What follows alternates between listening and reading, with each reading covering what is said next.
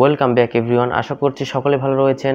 আজকের এই ভিডিওতে আমি রিভিউ করে দেখাবো ইনফিনিক্স হট টেন এই স্মার্টফোনটি ফোনটিতে কী কী কনফিগারেশন রয়েছে, কী কী স্পেসিফিকেশন রয়েছে, সে সম্পর্কিত বিষয় নিয়ে মূলত আজকের ভিডিও তো ইনফিনিক্স হট টেন এর স্পেসিফিকেশন নিয়ে ইন ডিটেলস নিয়ে আজকে আলোচনা করব।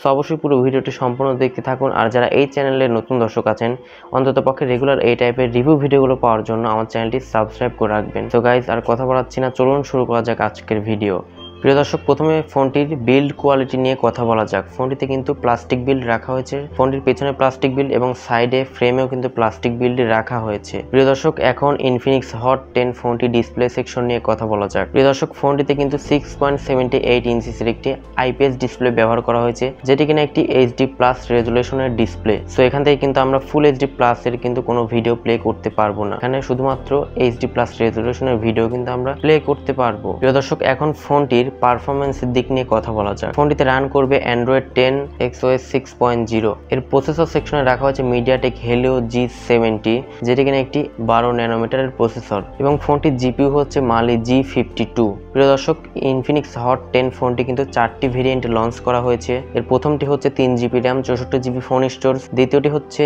চার জিবি র্যাম চৌষট্টি জিবি ফোন স্টোরেজ তৃতীয়টি হচ্ছে চার জিবি র্যাম একশো আঠাশ জিবি ফোন স্টোরেজ এবং চতুর্থটি হচ্ছে ছয় জিবি র্যাম, একশো আঠাশ জিবি ফোন স্টোরেজ। অলমোস্ট চারটি ভেরিয়েন্টে কিন্তু ইনফিনিক্স হট টেন ফোনটি এসেছে।